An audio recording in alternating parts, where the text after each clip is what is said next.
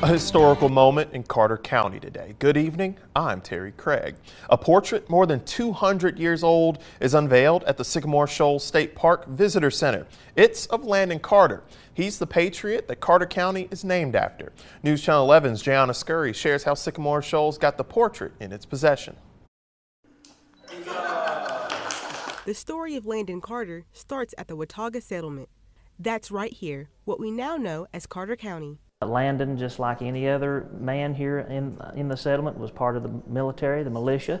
He rose in rank in both civil and military affairs, served in the Revolutionary War, and then he became uh, very involved in Tennessee politics when it was established in 1796. When the town of Elizabethton was established, his wife Elizabeth was where the namesake of the town came from. So that just tells us how precious they were and important they were to the community and to the formation of this nation back in the late 18th century.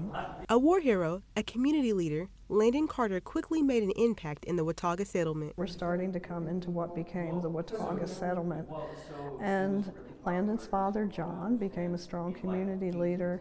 Landon basically followed in his footsteps. After many years of private ownership of the portrait, descendants of Carter decided to sell the portrait to Sycamore Shoals.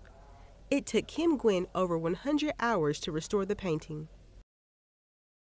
When I received the painting, it was extremely dark, very heavily soiled.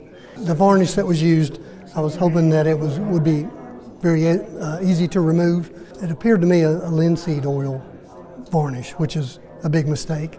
The linseed oil had turned very dark gray green and, and took a lot of effort to remove. Linseed oil is very difficult to remove from any surface, much less a painting.